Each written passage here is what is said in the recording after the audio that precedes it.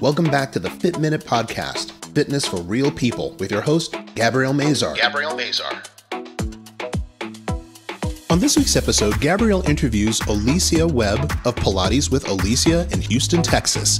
They discuss her amazing past in gymnastics, performing for the circus, and in Hollywood, which led her to Pilates, as well as how we can all avoid burnout and set boundaries for ourselves and those around us. And now here's your host, personal trainer and stretch therapist, Gabrielle Mazar. Gabrielle Mazar.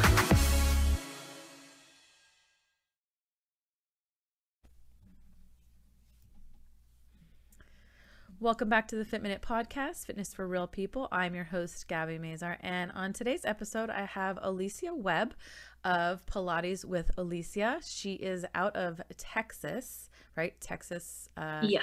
Houston area. Houston, yeah. that's it. Yeah. Uh, so we are um, talking on Zoom, and um, I just met her today, actually. But uh, we're going to talk about Pilates and the Pilates world and kind of what's going on in our world. Uh, I think that people kind of see from the outside in, but we don't ever really tell people from the inside out what's going on on our side. And it does get a little bit difficult and crazy at sometimes. But um, welcome to the show, Olesya. Thank uh, you. Yeah. So tell me a little bit about yourself, a little bit about your background, and kind of how you got into Pilates. Of course. My background comes from elite level gymnastics. And I was introduced to mat Pilates from very early age, but I did not know that and I was at national training camp and we had a Pilates specialist come in. And of course, like, I don't know what that means. I don't know who this lady is, but I know that we have training. I have to be here on the mat at this time. And we were doing a classical mat class. Again, I had no idea what it was. And I was like, oh my gosh, this is so hard. and then uh, she started, we had twice a days with her at the beginning of our sessions and at the end of our sessions. And so I had my first introduction probably around 10, 11, 12 years old with classical mat Pilates. Again, I had no idea. Yeah. And then um, after gymnastics, I became a gymnastics coach and choreographer and a certified judge. So my first half of my life was basically very deep in the gymnastics world. I did not know anything outside of the gym and you know there's good and bad that comes with that but i'm really grateful for my background in movement because i know for a fact that it makes me a better teacher in the day to day and what i do in my business. Yeah gymnastics is like a way different world than i came from. Because i came from like volleyball basketball you know the those kind of sports but gymnastics is a whole other element a whole other world of that side of sports that that I never I mean I'm not flexible so flipping around is not my thing for sure.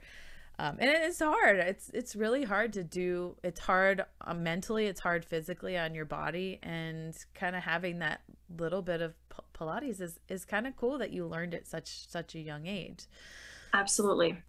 So getting into that and moving from you know your gymnastics world what got you out of that and kind of changing course? Yeah so uh, it's uh, very timely that we're recording this while the olympics are happening. There's a thing that's going around with the two older gymnasts on team usa they're called the grandmas because you age out of gymnastics very quickly. So 24 i think um the girl is, from oh gosh is the oldest one on the team. Yeah miss simone. Gilbert. Oh. Simone, oh. uh, there's Simone and there's two girls. There's one girl from Phoenix, Jade, and the other girl from Gilbert. And I totally. Oh, MyKayla. MyKayla. MyKayla. Yes. Yes. Yeah. Yes. So those are the two girls that I'm referring to. And mm-hmm. so, like I said, it is very normal in the sport for you to be 16, 17, maybe to 20, 21, and you're aging out of the sport. And so I was around 16, 17. Granted, I started gymnastics when I was three years old no breaks, no stops. We don't have seasons. It is a full year round sport. And so then you're constantly training that there's so much on your body, that is so much on your mind, and you don't stop. You don't you don't have time to think about anything else because you have training camp and you have competitions and then you have international assignments and then you have school. and then maybe you have like a little bit of social life, but not really. Yeah. Um, I was burnt out, and I remember that my body was hurting to the point where it was just like close to being unmanageable, and I was like, this doesn't this isn't fun for me anymore. And so I kind of had a conversation with my coaches and I had a conversation with my parents. And my coach was like, You need to sprinkle in some fun. And I was like, what is fun? Like, I don't even know what that is. all I knew was training, more training, and a little bit of sleep and at school. That's literally all I knew. And so she took me to a circus camp for one week where I got to flip like I normally would, but there I learned how to do stage choreography and I learned how to do stage makeup. And at the end of the one week training camp, we did a performance. And I remember it was like a mini stage, like very, very small show. And this was in San Francisco at the San Francisco Circus Center. And I remember being on stage and I had so much fun. And I was like, this is what it needs to feel like. This is what I want it to feel. And then I was just kind of like, I kind of like it here. Then I get home, my parents sit me down for a family meeting, and we're not a I don't come from a family where we have like family meetings. We just like kind of do our own thing and then have like family dinners, but we don't have like deep serious conversations. Sit down and, and, and yeah, things out and yeah. Yeah, we're not like that. And so I was like, oh my gosh, what's happening? Like, am I in trouble? You know, like the good like girl gymnastics. I was like, wait, I didn't do anything. What's going on? And um, my parents sat me down and they were basically saying that they got a call from the director of the circus center inviting me in to train with them. Wow. And I kind of looked at my parents and without a question, I was like, I want to do this. Like, with no conversation of logistics, my parents were like, we will support you in what you want to do, which is, I have the most supportive parents in the whole wide world because they literally let me run away with the circus. and so my mom and I, we moved to San Francisco, and then I was tra- training there for a year, uh, maybe a little bit more, closer to two years. And that's when I learned circus arts, and that's where I started really getting into performing and really getting into choreography and just having so much fun. So then I still got to flip and turn and like wear sparkly things, except I was in a place mentally where I was allowed to express myself instead of being more robotic in the gymnastic sense. And competing. It's not it's now not a competition and having the pressure of like simone biles said i have the weight of the world on my shoulders.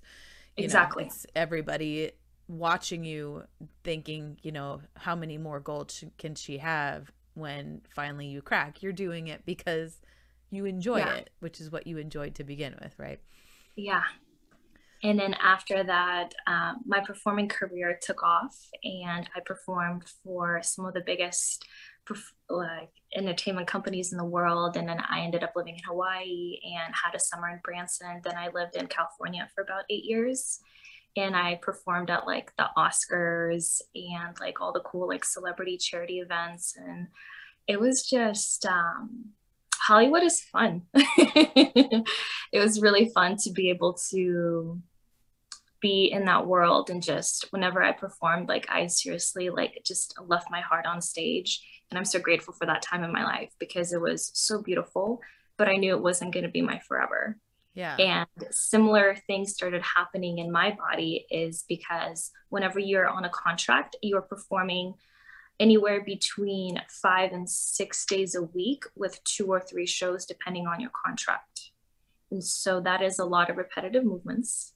That is a lot of training and plus the traveling and plus all the other things. Like sometimes you have to do a meet and greet so it's just a lot of body work once again. And i remember um, i got assigned pilates as cross training oh okay and so then it was like you know i'm a little bit older my brain is obviously more developed at this point and i'm a little bit more grounded in myself as a human being and i remember thinking my body knows this movement and it felt so freaking good. It felt so nourishing. And I was like, oh my gosh, this is awesome. And literally, I'm telling you, whenever I was like close to the end of my performing career, it kept me like glued together.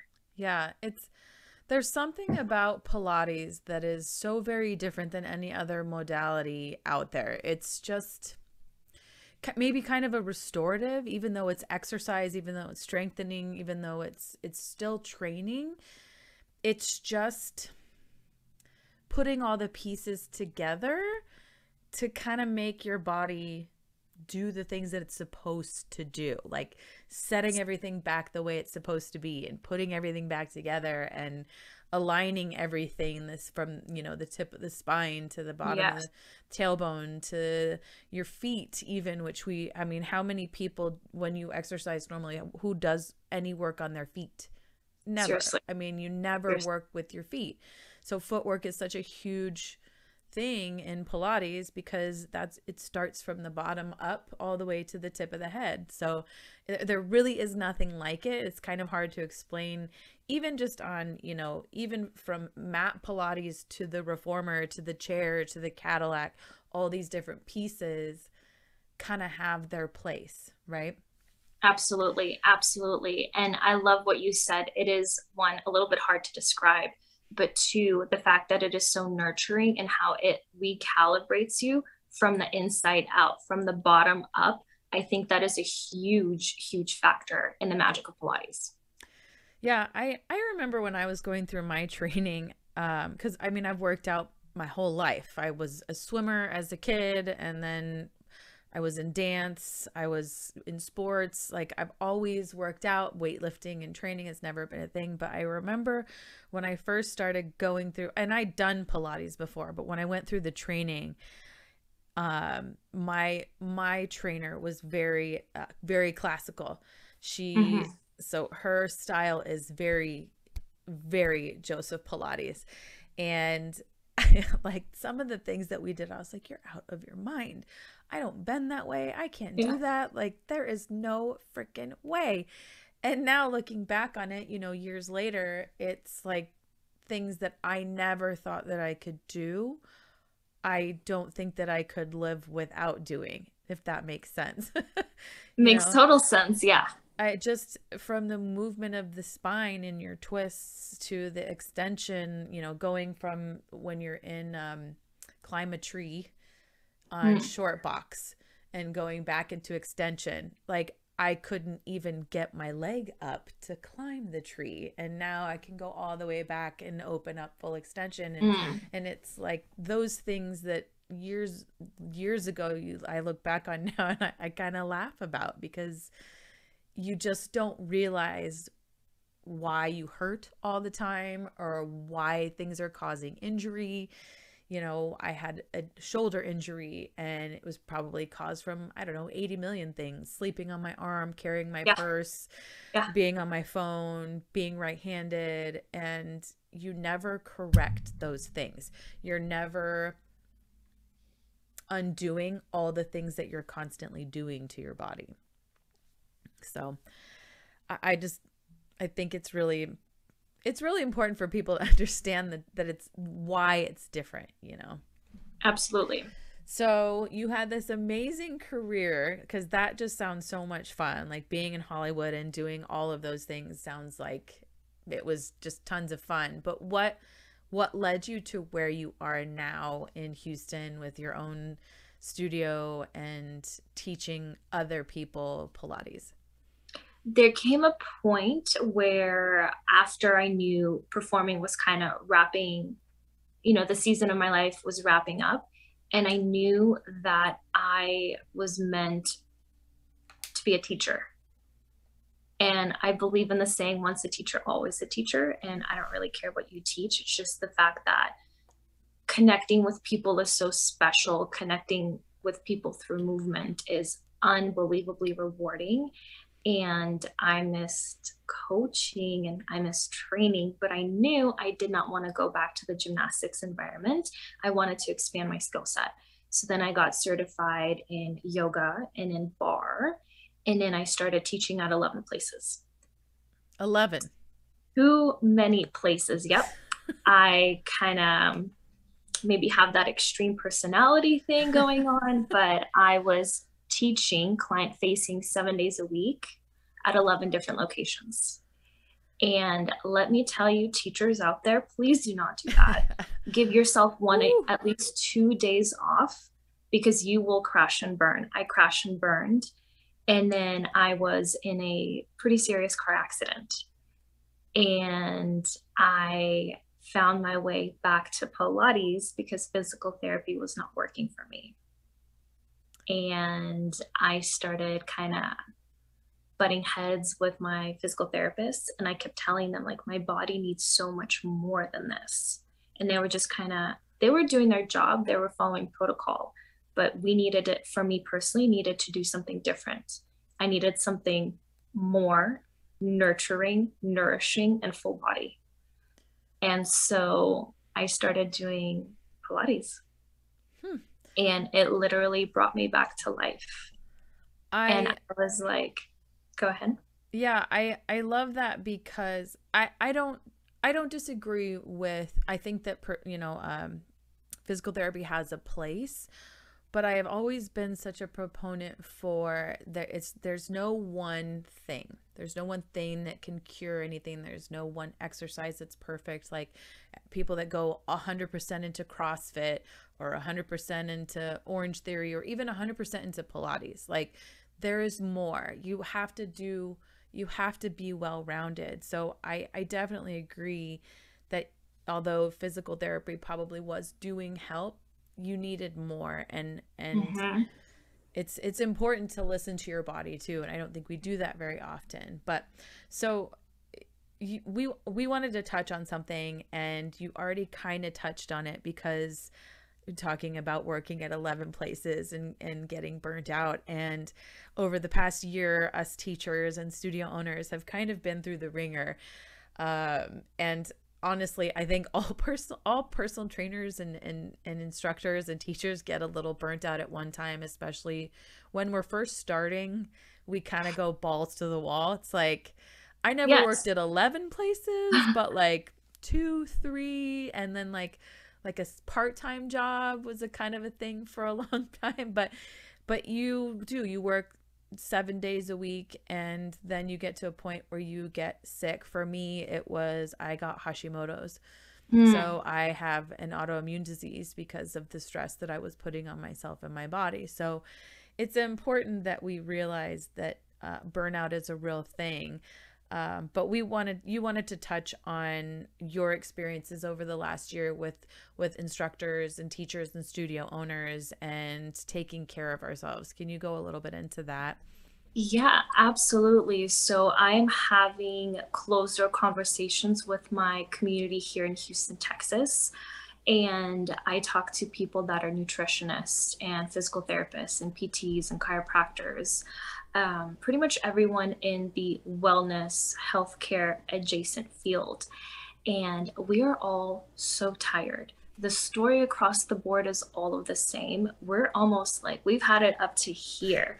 We're, I don't want to say we're drowning, but it kind of feels like it. And I just really want to bring up the conversation of instructors and studio owners and client facing individuals. Please take some time for yourself. If you need to take a nap, can you schedule 20 minutes to take a nap? Are you hydrating? Are you getting enough actual rest to where your adrenal glands are not like fired up all the time?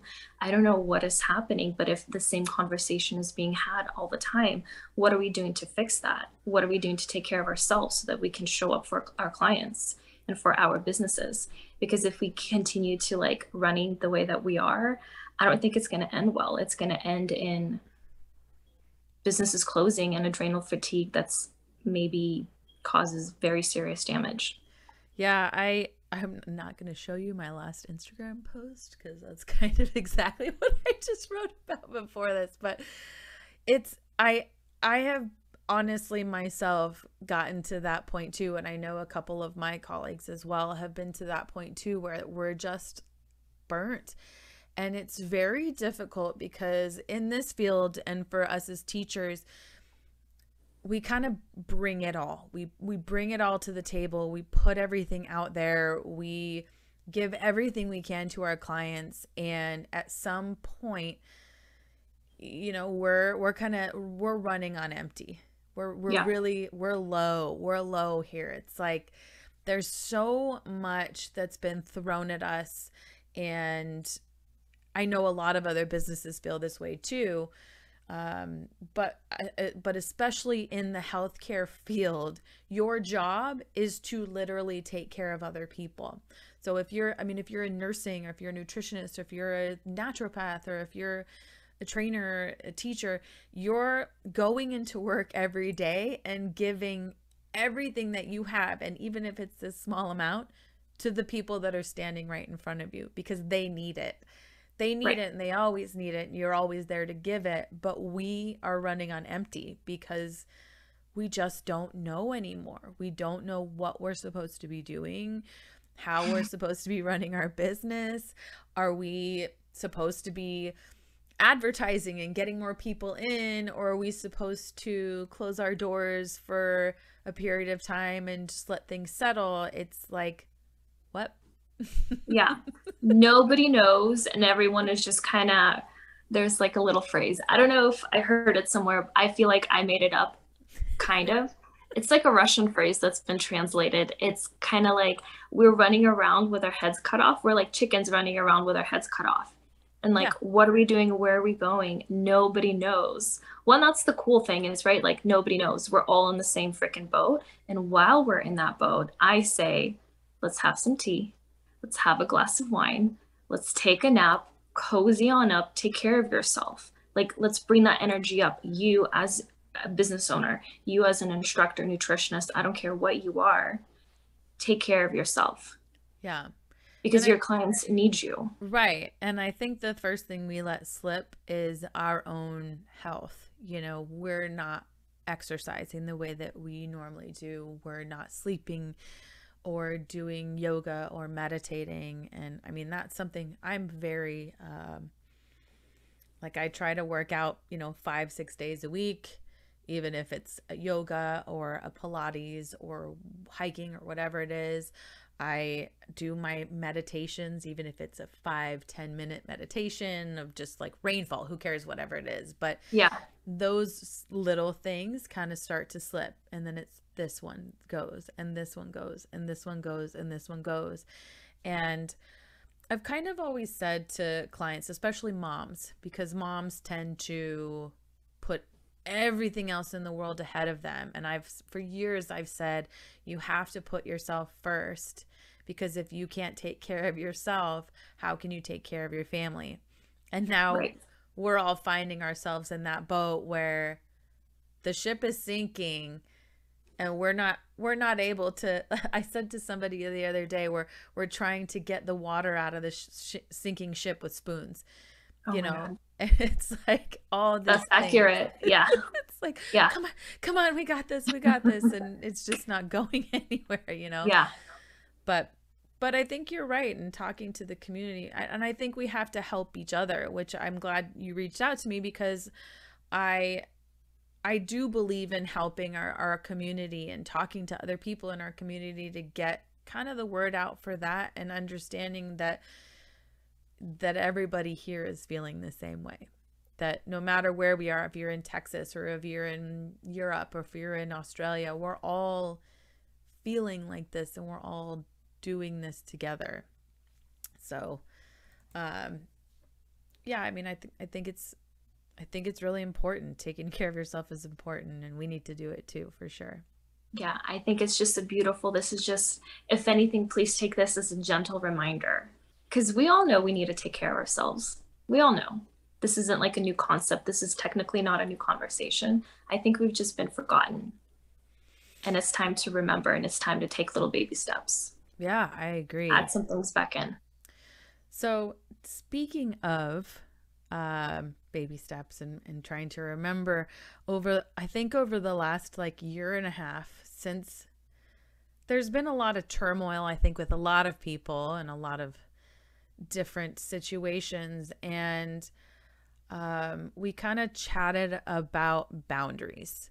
And I think I think maybe for a long time there there's always been boundaries in our industry and it's kind of like an unspoken boundary and I think that you feel the same way I do is that people have kind of lost that, like that understanding that we're running a business, we are also human, we are also people trying to get through this as well.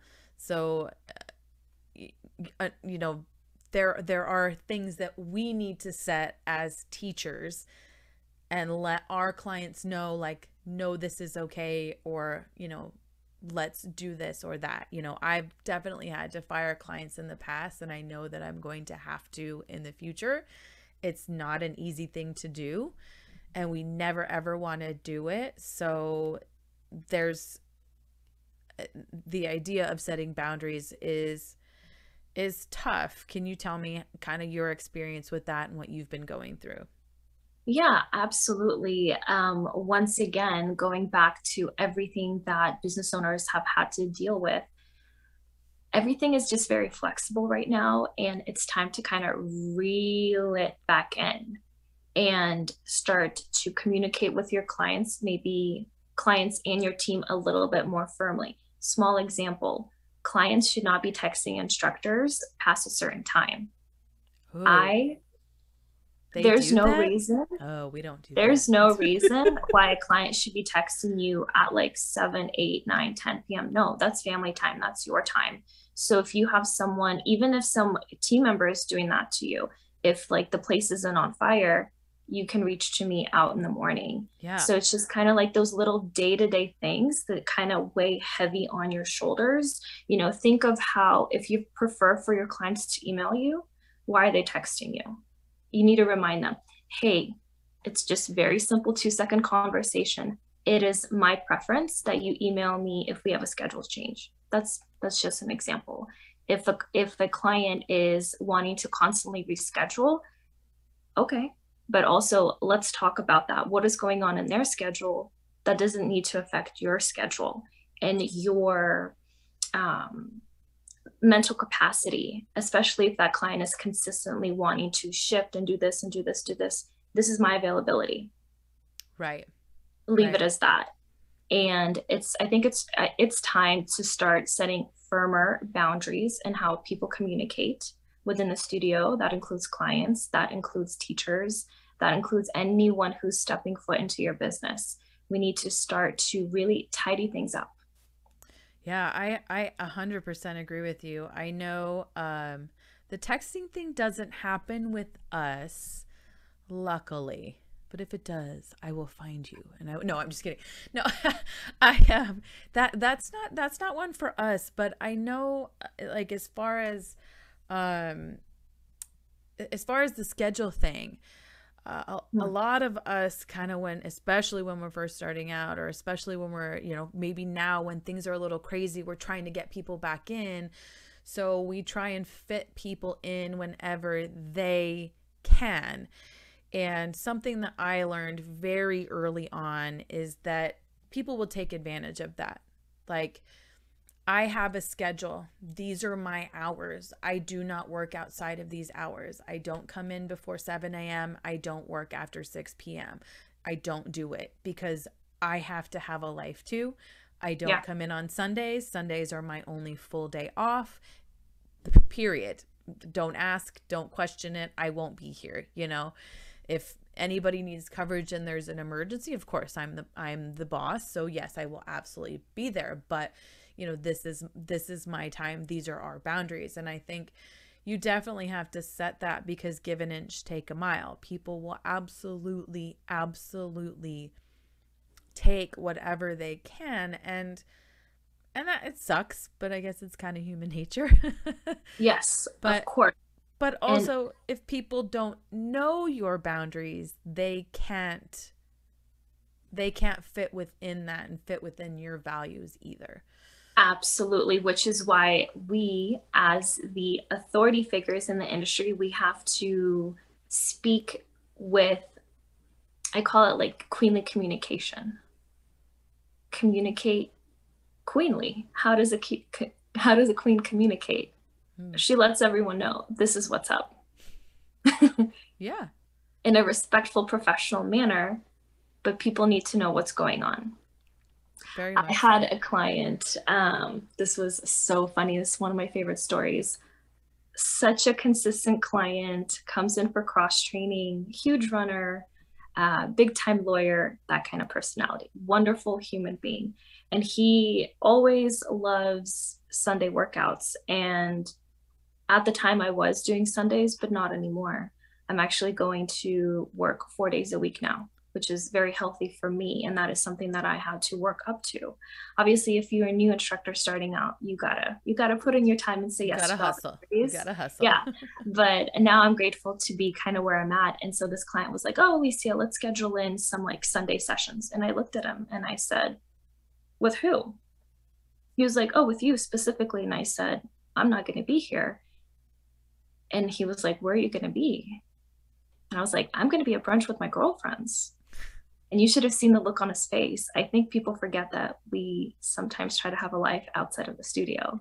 Like not that they're beings. right, right. We're not just like Pilates robots or yeah. business owners that are robotic. We we like to do stuff outside of the studio, and we need to create our uh, for ourselves the time and the space to enjoy life outside of our businesses. Yeah. I think that's very healthy and very necessary.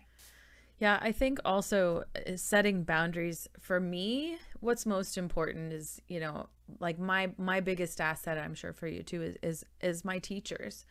I have a staff of 15 teachers and it is very very important to me that they are respected that they are treated well that they are taken care of because without them my business does not run and if they feel threatened or someone mistreats them in any way, in any way, I am very much like mama mama bird. Like I do not want any of my teachers to ever feel like they are in a situation where I do not stand up for them or like you know someone can mistreat them because that is really really important to me. So portraying to my teachers that that i am behind you 100% which which i had to do when you know initially we we closed down and reopened and we had the the mass conversation.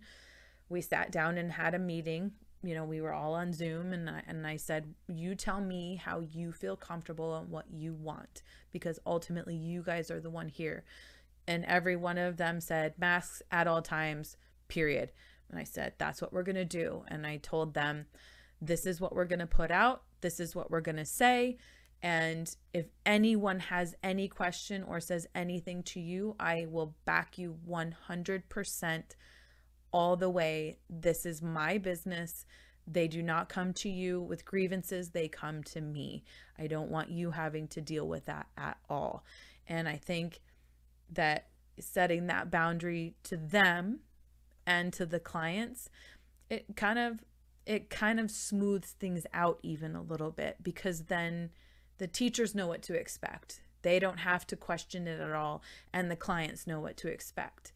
And so you you don't have any blurred lines. You have a specific this is what we're doing and this is what what it's going to be. So I love that. That is an incredible example of leadership and queenly communication. That could yeah, that, that Yeah, it's it's just it's important. I think it's something we forget about too because we're all kind of just in the mix. We're all kind of here just going and not remembering that yeah that you have a team and a, even though you have a business to run and you need to line your pockets with money you know they do too but they don't want to feel like they're coming into work to be disrespected or be treated poorly. Like it's it's definitely a different world right now and it's it's hard. It's hard to navigate through all of this and i think people really really forget that and don't don't care that you're doing the best that you can with what we know because this is not running a normal business. Running a normal business, you have all kinds of fires that you're putting out all the time, but this is a whole other level of unknown. We have no clue. We have no clue what we're doing. We have no clue where we're going, how long things are going to continue, if people are even going to come back. I mean, a lot of tears have been shed over the past year and a half, year and 9 months, you know. It's it's definitely been hard. Um but we we do it because we love our clients and we want to continue that, right? Absolutely. And for the community, for our local community, I love the fact that my Pilates business is a safe haven. Yeah, absolutely. I have 100% been told that over time and time again. This is the only place that I go other than home. Mm, that's beautiful. That And like I, I feel my heart. safe. I feel safe here. I feel comfortable here. And thank you for being here because I need this for my mental space. And that's Wow. that's huge. That's huge for me. I'm sure you feel the same way. I'm sure that your clients are so incredibly grateful that you're there, right? absolutely. Yeah. So, um, is there anything else you want to add about your business or anything important or anything fun going on or new or interesting that you think people might find fun? New or interesting? My goodness. What's new? What's interesting? What's new? What's interesting? I have started planning little mini road trips in Texas. And that's new and interesting for me. Once again, encouraging instructors and owners, if you can, to just give yourself a little change of environment. I went to Austin over the weekend, and I'm telling you, I am back and I feel like a brand new woman and a brand new energy. And I'm in the studio this week, obviously, with my people, and they're like, whoa, you're like a little tan and a little refreshed. And I'm like, yes, it's because I gave myself the opportunity to get out of town. And now I'm just sprinkling that a little bit more. And that's new and interesting to me. And I hope that you guys listening out there plan a little road trip too, if you can. Just get out of town, even if it's for a weekend. Just do it, just book it. Yep. Even short weekends are amazing. So, well, thank you so much for coming on the show. I think there was so much good information and I love that I can hear that other people are are kind of in the same boat. It's it's nice to know that even across states we still have the same people, the same issues, the same strengths, the same love and care for ourselves and our clients and our clients do us. So thank you so much for coming on the show today. You're so welcome. Thank you so much. Yeah, if anybody is listening and looking for Pilates in the Houston area, um, look her look look her up. Look her up. Yes, Yeah. please. What's and your, if your website is? pilateswitholesya.com and same thing with Instagram Pilates with Olesya. All you have to do is type in O L E and then it'll pop up because Olesya is kind of hard to spell. Fantastic. I'll have that in the show notes too. So if uh, if anybody's in Houston or even wants to pop in for a class, if you're stopping there, please please stop. Support local businesses and support local Pilates studios or anything to to get us by because we surely need it and we love having you guys. So thank you so much for coming on today. Thank you guys. Yeah. Thanks everyone for listening to the Fit Minute podcast and we will all see you next time.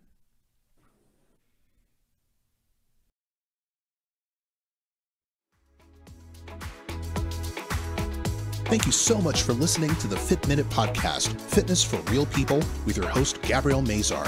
If you would like more information on today's episode, you can find it in the show notes, or you can find it on Gabrielle's website at www.healthybodyworksaz.com. Be sure to share the show, give this podcast a review, and subscribe so you won't miss an episode. Join us next week to hear more stories from people just like you. This has been the Fit Minute Podcast, Fitness for Real People with Gabrielle Mazar.